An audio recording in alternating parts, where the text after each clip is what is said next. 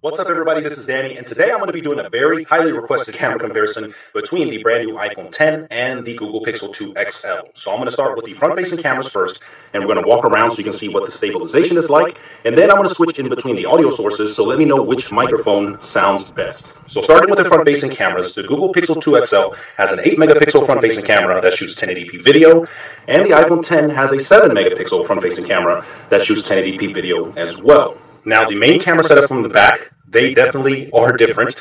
Where the Google Pixel 2 XL only has one 12.2 megapixel sensor with optical image stabilization, but it is able to do portrait mode, which is absolutely amazing. And the iPhone 10 has a dual camera system setup, two 12 megapixel sensors, one with f1.8 aperture, and the 2x telephoto lens at f2.4 aperture, and they are both optically stabilized, which is awesome. So they both can do portrait mode on the front and back. So these cameras are awesome to compare. So I'm going to go out and take a whole bunch of pictures today.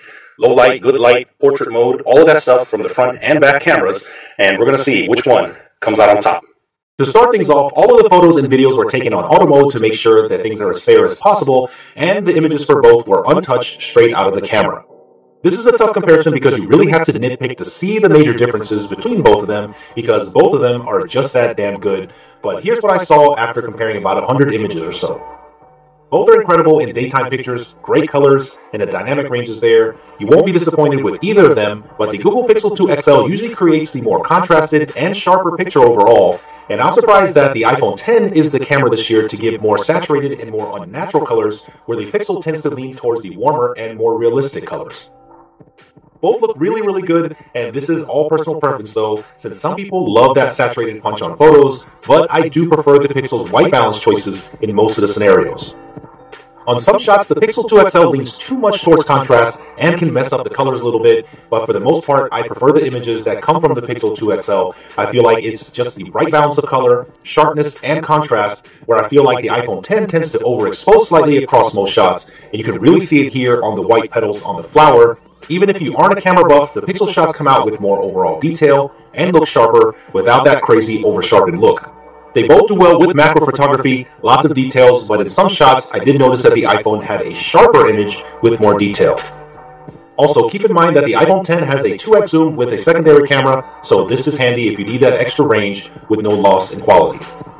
The Pixel 2 XL is neat because it can do portrait mode on both the front and back without the need for a secondary lens, and compared to the iPhone's dual camera system and its second year on portrait mode, the Pixel 2 XL is really impressive, sometimes beating out the iPhone 10 in terms of exposure, contrast, sharpness, and detail. I also find this to be true for the portrait mode on the front-facing camera as well. Sometimes the iPhone has better colors though, and even though they both make mistakes with the edges, it's nice to see portrait mode come to selfies, even though I never take them. When it comes to 4K video though, the iPhone 10 is showing higher dynamic range, a lot more detail here in the sky, but I prefer the colors from the Pixel 2 XL in the daytime. Now, nighttime video, the iPhone 10 looks much nicer with better noise reduction and much better exposure, all while retaining more detail. So if you're into nighttime video, the iPhone 10 might be the better choice. Both phones have optical image stabilization, so taking 4K video while walking, they both look good. But if I had to pick a winner, it looks like the Pixel 2 XL is doing a slightly better job. They are both good, but the Pixel looks like it's on a gimbal. It's super smooth, and both of them are just being handheld, so let me know which one that you think looks better. They both shoot 240 frames per second slow motion, but the iPhone 10 does shoot in a higher 1080p quality versus the 720p on the Pixel 2 XL. The difference isn't as drastic as you would imagine, but the iPhone's video does look better with a little bit more detail and a brighter image, and the iPhone 10's also looks a little smoother. Also, the iPhone 10 shoots 4K video at 60 frames per second, so if you want to see what that looks like, I will link my video down there for you. It's pretty cool. The autofocus on both of these phones are fantastic. I've never had any problems from either of them not focusing correctly. If you look at the iPhone's autofocus though, you can see it's a fast but gradual shift in focus, which I really like. It's almost like focus from a higher end DSLR.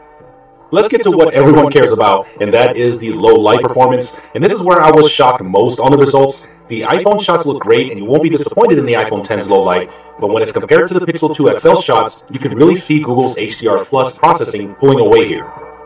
When it comes to the dynamic range, it's almost unfair. Look at how much detail is retained here on the bright sign on the pixel shot, where on the iPhones, it's completely blown out. The lighting on the windows and signs are also much better represented with full detail, and while both have great noise reduction with nice black levels in the sky, you can really see the difference in bright neon signs or signage. Once again, it's not that the iPhone 10 is not doing great, it's just the Pixel is just doing that much better. There are times where the iPhone 10 has better color replication, like the reds on this Coca-Cola building, but the dynamic range, contrast, details, and sharpness I feel are just unmatched on the Pixel 2 and Pixel 2 XL. And I've tested the Pixel with many other cameras like the Note 8 and the Huawei Mate 10 Pro, so stay tuned for those exciting comparisons. For people who like selfies, the iPhone 10 is a good choice, but once again, I feel that the Pixel 2 XL's 8 megapixel camera, for the most part, does a better job. More detail, better exposure, and better skin colors, especially in low light conditions. Look here where the sign behind me is just completely blown out on the iPhone's image, where the pixels, even though it's super noisy, you can actually see the sign. Alright guys, so after looking at all these pictures, let me know which one is your favorite. You really can't go wrong with either one of these, and that's the thing you should take away from this video. But this time, I have to call a winner, and the winner overall is the Google Pixel 2 XL. If you agree or disagree, let me know in the comment section below. I'm sure you'll let me know. Be respectful in the comments no matter which one you like best. Subscribe for more camera comparisons like this one. Smack that like button if you enjoyed this, and I'll see you guys in the next one.